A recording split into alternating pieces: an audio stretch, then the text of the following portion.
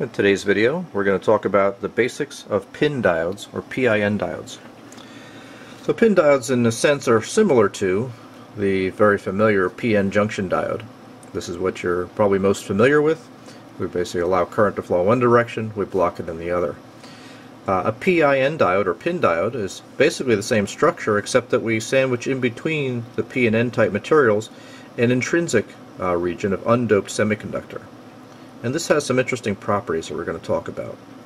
Now at DC and low frequencies, these two diodes behave the same. They both have the same IV characteristic that you're familiar with.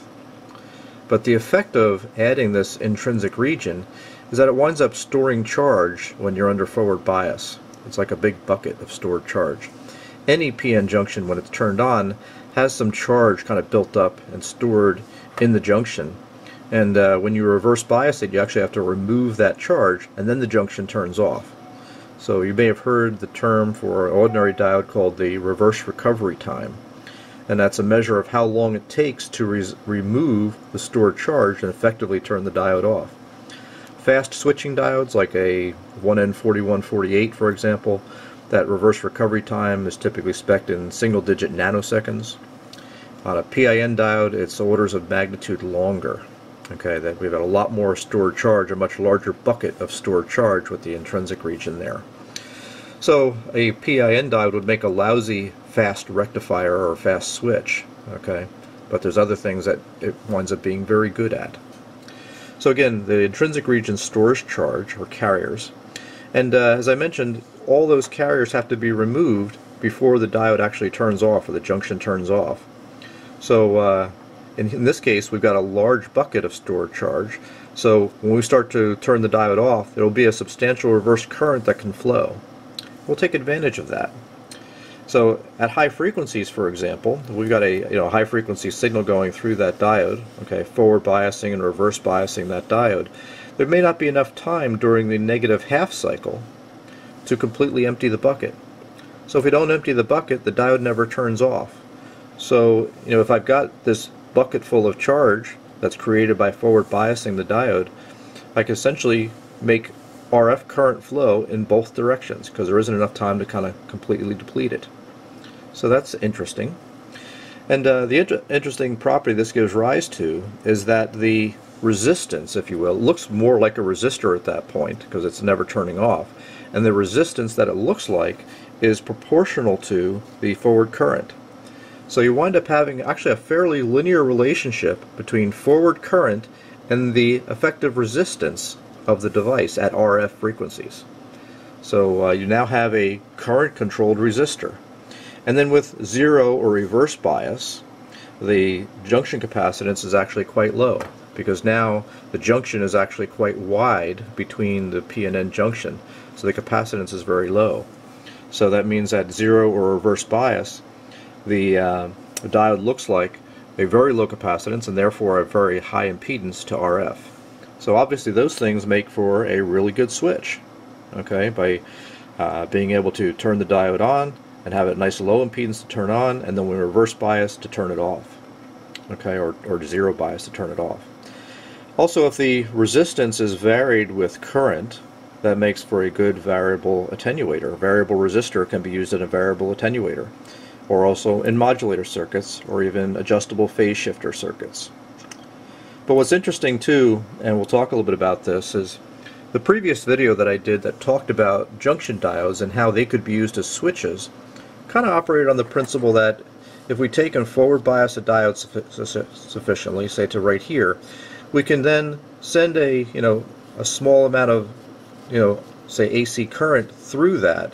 As long as we don't kind of turn the diode off, this looks like a fairly low impedance, right? The slope of that line is the resistance of that diode. So that was the, the previous video I did that's linked below. Uh, basically shows how to use ordinary switching diodes as a switch. Now in the case of the pin diode, uh, we can kind of violate this a little bit. We can actually bring, you know, the voltage that we apply to it can actually go substantially negative and actually re reverse bias the diode and as long as the junction or the bucket of charge doesn't get depleted and emptied, it will still conduct. So this allows us to switch relatively large RF currents with relatively small bias currents.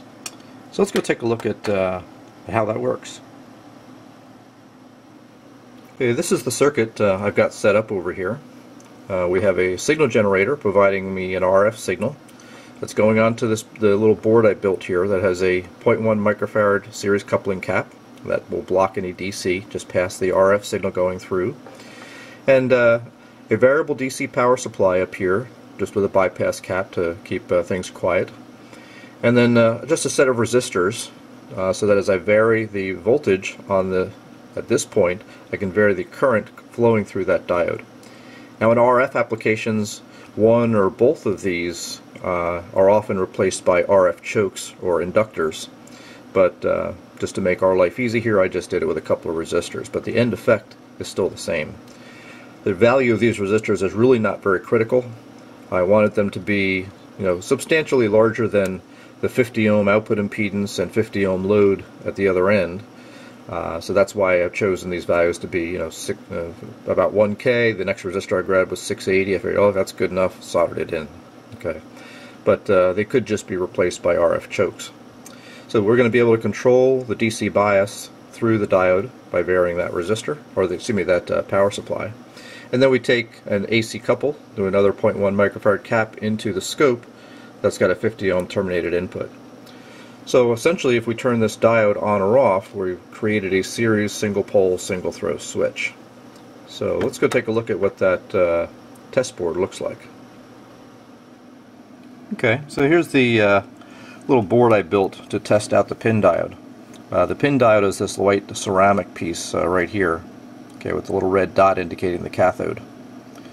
So uh, my RF signal is coming in through this connector here, going through this AC coupling cap, that's the 0.1 microfarad cap here. This is the 1K and 680 ohm bias resistors that are biasing up that uh, diode. And then this is the DC, oh, the coupling cap, the 0.1 microfarad cap that's taking my signal out and going out to the oscilloscope. So that's the very simple circuit that we use to evaluate uh, this, uh, this pin diode. So with the DC bias removed from the diode, uh, if we take a look at my signal generator, I've got a 10 megahertz signal being generated at uh, close 5 volts peak to peak. The reality is it's going to be a little bit less than that when, it, when we look at it on the scope because the impedance that's seen through my circuit is a little less than 50 ohms, but that's okay. So uh, I've got my RF signal coming out here. That is going into uh, the diode. The diode is currently turned off with no DC bias turned on on it. And then the output is going out to the scope. So I can see I don't see an, the RF signal on the scope at all even though I've got a 5 volt peak to peak signal being uh, injected into the front of that diode so effectively completely blocking that signal. The DMM here is measuring the DC current through that diode. So if I connect up uh, a DC bias from the power supply let's just uh, connect that up right here and now we go take a look I can see I've got about 2 milliamps of forward current through the diode and I can see my you know 5 volt peak to peak RF signal at 10 megahertz. Now if you think about that this is a you know plus uh, I mean look it's not quite 5 volts peak to peak it's just a little over 4 volts peak to peak but let's just call it 4 volts. So it's plus 2 volts peak and minus 2 volts peak. So two interesting things going on here. Ground if I switch to ground is right here in the middle. So this signal is swinging above and below ground so that means the diode is conducting in the forward direction and the reverse direction. And take a look at another piece here. I've got, this is 1 volt per division, so I've got about 2 volts peak in each direction. 2 volts across 50 ohms, that's 40 milliamps. So I've got 40 milliamps of forward current and 40 milliamps peak of reverse current through this diode, and it's not turning off. So this is all a function of having that stored charge in the diode. We talked about that in the uh, in this intrinsic region being like a bucket and storing charge and, and we're seeing the effect of that right here. This 10 megahertz signal is not going negative long enough to pull all that charge out of the intrinsic region so the diode is staying on.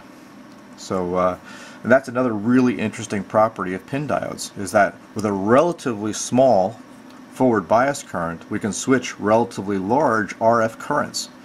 Unlike the previous situation when we talked about diodes, we had to kind of fully bias the diode on and not swing below the knee voltage. Here we're clearly reverse biasing the diode and it's still working fine. So let's take a look at what happens if we you know, reduce the amount of charge that is stored in that junction. And we can do that by turning down the bias. So if I turn down the power supply here, okay, and now look at what happens. So if I'm now I'm down where I've got you know about 360, 370 microamps of current flowing through.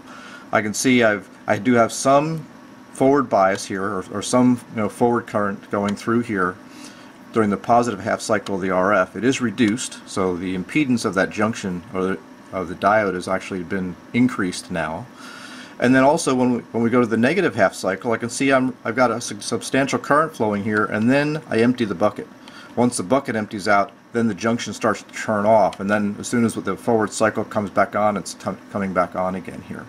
So I can see I just don't have enough forward current to, to fill the bucket enough and if I bring the, uh, the current back up again, I can see right about here, oh, right about 1.5, 1.4, 1.5 milliamps for this particular diode is enough to give me enough charge in the bucket to fully conduct to this 10 megahertz signal. Now let's take a look, for example, if I reduce the frequency down to 1 megahertz. So now at 1 megahertz, the, uh, the signal is going to go positive or negative for a longer period of time so now even in this case I've got 2 milliamps of forward current. That 2 milliamps of current isn't filling the bucket enough to allow you know me to conduct fully for the negative half cycle of a 1 megahertz signal. I've got to turn that current all the way up. Okay, so I'm about 4 milliamps now. So now 4 milliamps is enough to cause that diode to conduct enough so that I've got enough charge to accommodate that negative half cycle of this much slower 1 megahertz signal. Let's go the other direction. Let's change that uh, RF signal to say 50 megahertz. Okay. So now at 50 megahertz, now let's uh, zoom in here on the scope. Okay. So at 50 megahertz, certainly 4 milliamps is well more than enough to conduct all of that. If I reduce the current way down, I can see even way down well below a milliamp even. Okay, even at 500 microamps of current, I'm still fully conducting and giving that full amplitude of that 50 megahertz signal. So we can see as the frequency goes up, we're spending less time on the lower half cycle, so it's not as much time to pull that charge out, and thus the diode stays on longer. So in the case of the most recent repair that I did on that Yaesu transceiver, these pin diodes were used to switch a 50 watt RF output. And if you look at the specs for these diodes, they can switch, uh, you know, amps of RF current with just tens of milliamps of, uh, of forward DC current. So really useful for our high power RF switches. So uh, let's take a look at some of the other configurations that you can use for RF switches. The configuration I used on my test board was just a series single pole single throw switch like this. Now of course you could also do a shunt single pole single pole switch. Here when the diode's off it looks like an open circuit and the RF will pass right through. When I bring a bias up to send a current through this diode, that diode goes to a very low impedance and when it does it essentially shorts the RF signal to ground. So of course the RF source has to be able to accommodate that without damage but that's another way to do a switch. Okay, because again, uh, just to review the the resistance of that diode varies linearly with the forward bias. So another uh, situation, by combining these two, you can create what's called a series, a series shunt single pole single pole switch. And uh, what's interesting here is consider the situation where this bias voltage is brought positive. When it's brought positive, this diode will be reverse biased, so it looks like an open circuit, and this diode will be forward biased, it'll look like a short circuit. So now the RF signal is blocked two ways. It's got a high impedance to this point, and then from here it's got a low impedance to ground. So this style of switch will give you more isolation, you know, more you know, more isolation between you know when it's turned off than either one of these other two configurations. So it's really kind of the best of both worlds. And then if we bring the bias voltage down below ground, we would turn this diode on which will create an RF path going through here and it turns off this diode so I don't short to ground anymore. So a very common thing to use for pin diode switches. Uh, another interesting application is this one for a, uh, a, a example, say transmit receive switch. So where I have a transmitter and a receiver circuit feeding a common antenna. Now what's important here is to ensure that the transmitter doesn't overload or damage the receiver. So you want to be sure that the receiver doesn't see any of the transmitter energy. And here we're using a kind of a form of this uh, series shunt switch. But it's actually kind of interesting because uh, uh, one interesting property I have in here. So I've got one bias line. Okay, when that bias line comes up, we turn on this diode and that diode. So I've really turned this diode on and this diode on. So both of these look like a short. So you could say, well, how does that work? Well, in this case, when this diode looks like a short, that lets the transmitter see the antenna. But the important thing here to note is I've got a quarter wave transmission line. So it, for the frequency that I'm operating here, I've got a quarter wavelength transmission line. This quarter wavelength transmission line has got an interesting property that for the frequency at which it's a quarter wavelength long, it will provide the inverse impedance, okay, uh, or invert the impedance as seen at the output back to the input. So if you put a short circuit out here, it looks like an open there.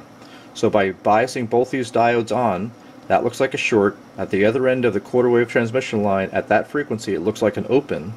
The transmitter sees the antenna, and it looks like an open circuit going that way, so it doesn't see the receiver, the receiver doesn't see the energy. So pretty interesting property uh, of the transmit path. Now for the receive path, we, what we do is we just do the opposite. We remove the bias. This looks like a high impedance. Okay, the antenna then can go through, this looks like a, uh, an open circuit as well, so the antenna can just go through and see the receiver. The receiver would be impedance matched to the antenna, so the uh, transmission line is irrelevant. So this is an interesting way to do a transmit-receive path with a pair of pin diodes that are controlled by a, common bias line. So again, those are uh, some common switch applications. You can do single pole or double pole, multiple pole, multiple throw switches and things like that and also by taking advantage of the variable impedance, the current dependent impedance, you can create variable attenuators, modulators, phase shifters, etc.